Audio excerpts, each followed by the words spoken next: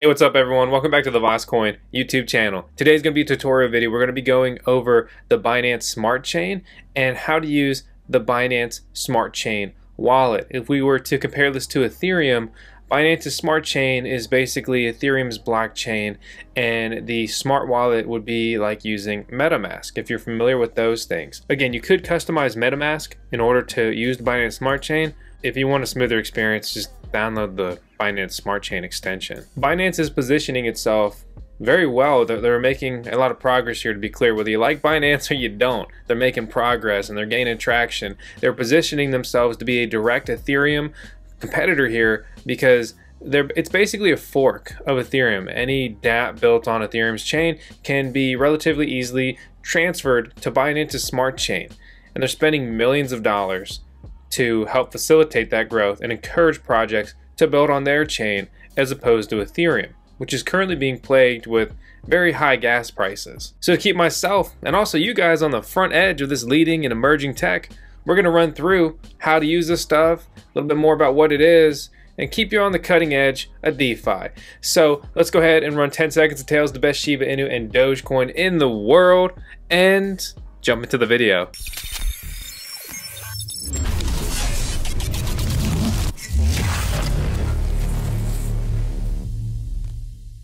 An introduction to Binance Smart Chain, BSC. You may have seen it before, you'll probably see it in the future, and I don't see it going away.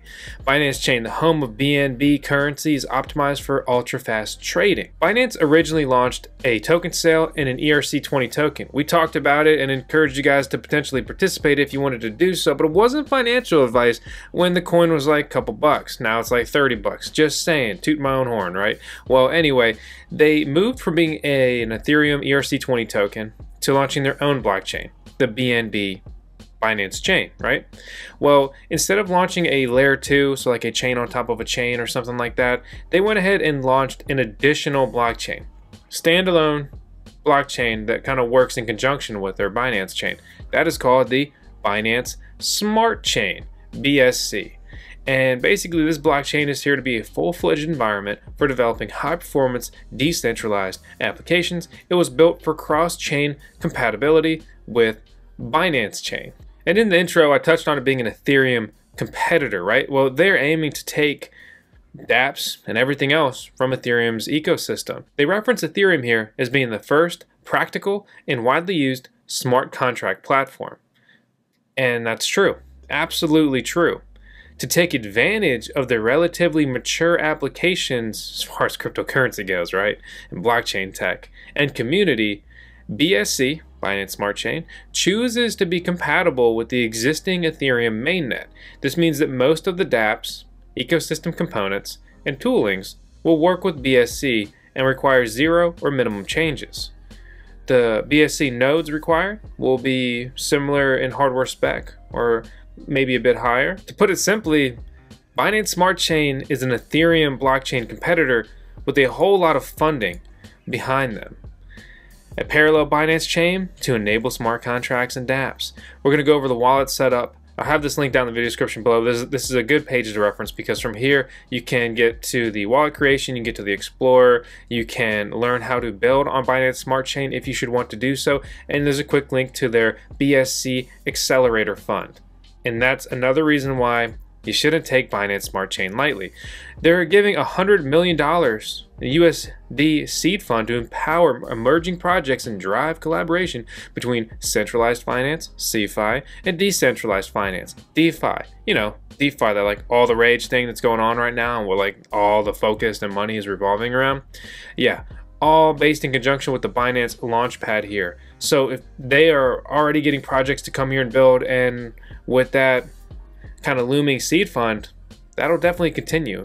Also, by the way, guys, we got a couple more mods set up, so we are officially, right, launching our Telegram group because we needed yet another group on top of our Discord and our forum and everything else. Where anyway, some people love Telegram, some people wanted a Telegram group, so I bring you VoskCoin Gram, the VoskCoin official, public, free Telegram group where we're going to talk about everything cryptocurrency. But let's go ahead and set up the wallet and really see what this is all about. Okay, so I have this linked out. It's also on that page and you click create unlock the wallet. It'll take you to this. Their wallet functions as a Chrome extension, just like MetaMask. Okay, so we want to add it. In this case, I'm using Brave. Brave is a Chromium fork. It's basically a Chrome browser. They take Chrome tech and uh, they take everyone else's tech, to be honest, and they roll it into their own thing and put their name on it. But that's another subject day video, right? Well, you see, click, click, it's been installed, and now I have the option to remove it. Not what we're doing here. Uh, so I'm going to go ahead and click this, right? And it should prompt me to create a wallet here. You can import a wallet, right? That would be I own a wallet, and you would put a seed phrase in even if you have a seed phrase for another wallet, you could basically just reuse that seed phrase, but keep in mind this is on the Binance Smart Chain. So you probably wouldn't have any coins even if you had it like in another coin, right? So we're just to say I don't own a wallet. And then I'm to say you should subscribe Okay, okay, I'm not gonna remember all that. Okay, I was trying to say something funny and type at the same time and I messed up like three times. So anyway, you put a password in, a password you'll remember. Use a password manager if you want, or however you normally do your passwords here, right? Well, from here, you're gonna get your seed phrase. I recommend you write them down on paper maybe twice, keep one yourself, put in a fireproof safe or something, give one to someone else you trust. You could even give pieces of the phrase, right? So you got three people you kind of trust, each give them a piece of this, make sure they don't know each other. Okay, that's a good idea. Or you could be lazy and just keep it on like a Word doc on your computer. Don't recommend that, but hey, it's your money and coins, right? Click continue and it'll prompt you to put in some of the associated words here. So for me, that's going to be these three words. And once you do that, your wallet will be set up and activated. You're to need some coins but they function differently. I've got a referral link out to Binance and Binance.com in the video description below. I'm using Opera, I'm using a VPN, accessing Binance right now. And from here, I'm gonna go to BNB. That's gonna be Binance coin. And you're gonna, you need some coins, right? You know, you wanna participate here.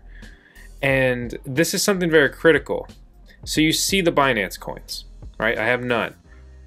And you see the OX, similar to like an Ethereum address, right? And the difference here is very important. Binance chain BNB is referred to as BEP2, BEP2. Binance Smart Chain BSC is referred to as BEP20, BEP20, BSC. These are different, okay? You can't send BEP2 coins to a BEP20 address. So for example, it prompts you right here, I want to send to this address, right? Well, I would have to withdraw BEP20 coins. And then I would put that address in here and I would click withdraw and then my wallet would be funded. I've already done all this, so I'm gonna go ahead and put my real wallet in here and then we're going to move on to actually using this stuff. I'd like to take a moment to thank today's video sponsor, Bityard, for being the world's number one cryptocurrency contracts exchange, or so they claim. And they also claim to have lower slash obviously better fees than, than BitMEX. They've got some interesting sign-up bonuses, so you can use our link in the video description below, join their contracts and derivatives exchange, and you can click on promotion and then drop down to promotion, and you can see all these tasks that you can complete, and you'll be awarded USDT on their platform for doing those things. All right, so I went ahead and I imported my proper wallet here. Click this, you can see I've got 10 coins here. It's on the Binance Smart Chain, BEP20, and I'm over here on dappradar.com. I have it navigated to the BSC section and it's ranking all of the Binance Smart Chain apps. And you can see the category, the protocol, which this is going to make them all BSC, obviously, uh, the balance, and then the uh, users associated, and the trading volume, and just the activity there. PancakeSwap has kind of been the big leader here on Binance Smart Chain in uh, recent times and Cross Finance just launched and they've gained a lot of traction and we have an upcoming video on them as well. So what's cool about their site is you can click on them and you can get some base, just basic information here. So you can see the, the users, the transactions, the volume. You can see their ranking in general, DeFi and BSC and they claim to be the number one AMM and yield farm on the Binance Smart Chain. Then we got Cross Finance here. You can see they're associated information. So we'll go ahead and we'll open this DApp. Once we open that DApp, we will be able to see that, we, that their farming has just been launched, yield farming, and that's live, right? So all you have to do to start participating in these dApps built on Binance Smart Chain is connecting your wallet. Again, you could customize MetaMask in order to use the Binance Smart Chain, uh, but if you want a smoother experience, just download the Binance Smart Chain extension.